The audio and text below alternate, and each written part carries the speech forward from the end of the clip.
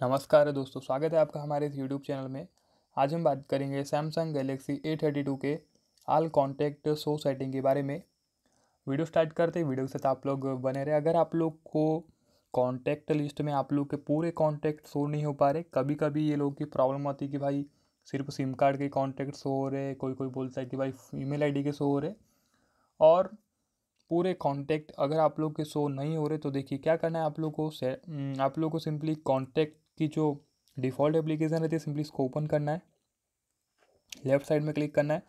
यहाँ पे इसको आल कॉन्टेक्ट सेलेक्ट कर लेना ठीक है ना? अगर आप लोग इसको फ़ोन मैनेजर सिम वन या फिर गूगल वगैरह सेट किया रहेगा तो आप लोग इसको जो है आल कॉन्टैक्ट कर लीजिएगा, ठीक है ना? इसमें क्या रहेगा कि आप लोग के फ़ोन में जितने भी कॉन्टैक्ट रहेंगे, सभी के सभी शो होने लगेंगे। आप लोग को किसी भी प्रकार की प्रॉब्लम नहीं रहेगी। आप लोग इस सेटिंग में जा सकते हैं मतलब सेटिंग में नहीं मतलब कॉन्टैक्ट की जो डिफ़ॉल्ट एप्लीकेशन दी है यहाँ पे आप लोग ये सब चीज़ें कर सकते हैं। फ़िलहाल वीडियो में इतना ही। उम्मीद करते हैं आप लोग को वीडियो पसंद है जय माता दी।